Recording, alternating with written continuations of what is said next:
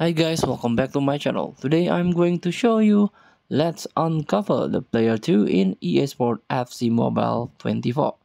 So the mystery signings player revealed. And before we start, I made this video for beginner new into this game, still confused how you can challenge the event, how you can complete the quest, so you can get ton of reward from this game. Let's get started. Let's uncover player 2. Search the mystery signings event. Here, mystery signing step. And in previously I already unlocked the clue. Center back with 89 OVR and also the first player as we know is Abedi Pele. Same OVR 89 with center attacking midfielder position.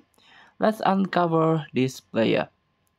Type 3 type to open you got coin 30,000 reveal all got best player and Marquinhos. Uh, if you need Marquinhos please choose him because he is part of mystery player with work rate defending high.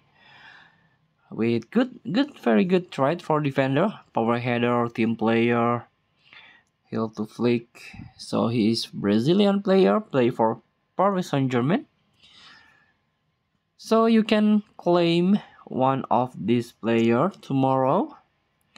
You can choose Abedi Pele or Marquinhos. And also if you collect two player before, tomorrow you will get milestone reward. Thank you for watching. Don't forget to comment, like, and subscribe. So click X button below. Enjoy the game.